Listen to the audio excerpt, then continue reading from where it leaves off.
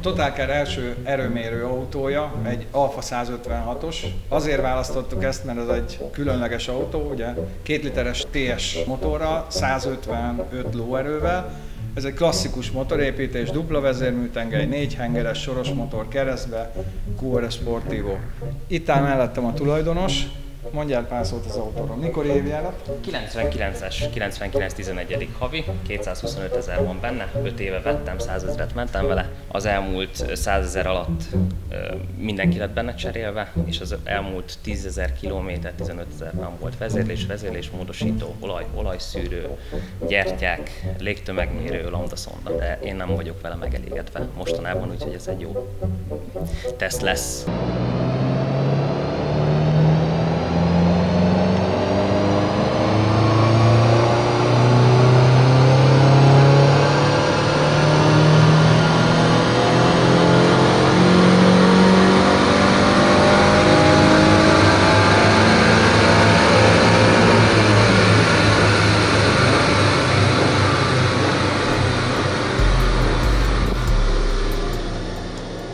Szűk igen. 106 Valami nem jó. Az valami nem. Ez változó szelepvezérlésű lehet, de nem funkcionál rendesen. Fel nem tudja. 190. 190. 190 mennyi? 192. Attól is nagyon. Az Alfa viszonylag kevés teljesítményt adott le, ezért csinálunk még egy mérést más terheléssel a padon, megnézzük, hogy akkor mit tud, és kiderül, hogy a végén sírunk, vagy nevetünk.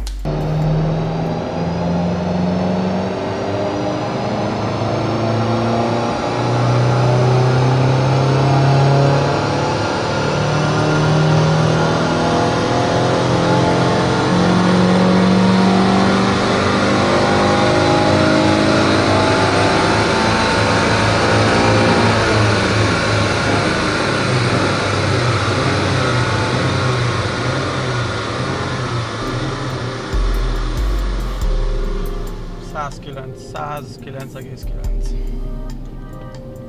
109,9 lóerős, 139,8 mondjuk 140 Nm a nyomaték, ami még mindig elmarad 50 Nm-rel, mint kellene. A teljesítmény meg 40 lóerővel, sőt kicsit többel is, mint 40 lóerő, tehát ez az, amire nagyon jó a teljesítménymérés, hogy most tudjuk, hogy valami, valami problémás a, a motorral.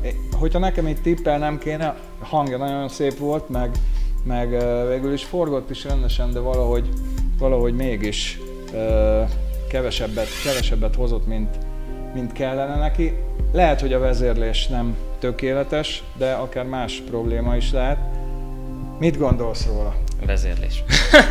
Mit mondjak, nagyon csalódott vagyok, azért ennél jobbra számítottam, éreztem, hogy valami nem, nem az igazi. Mielőtt elkezdtem a vezérlést és módosítót és hasonló cseréket, előtte jobb volt. Tehát előtte ment, mint a szélvész, most meg érezhetően gyengébb. Érezni abszolút. De ez Hát- még annál is rosszabb, mint gondoltam. Ezt nem ismerem ezt a motor, de sok vezérlést cseréltem, és ugye, hogyha, hogyha fesz, feszíted a, ezért, feszíted a szíjat, sokszor van, hogy elhúzza, akár egymáshoz képest is a két tengelyt. Elvileg ezért ennek olyan a speciál szám, hogy be kell a két bordás kerék közé, és amikor megfeszíted, így nem tudod elhúzni elvileg a tengelyeket. Ugye sokszor kihagyják, meg a vezérlés módosítót sem egyszerű a helyére rakni. Azt, azt is el lehet rakni. Ilyen kis apróságon ilyen nagy teljesítmény Hogy? különbség. A vezérlés nagyon, nagyon érzékeny. Nagyon érzékeny.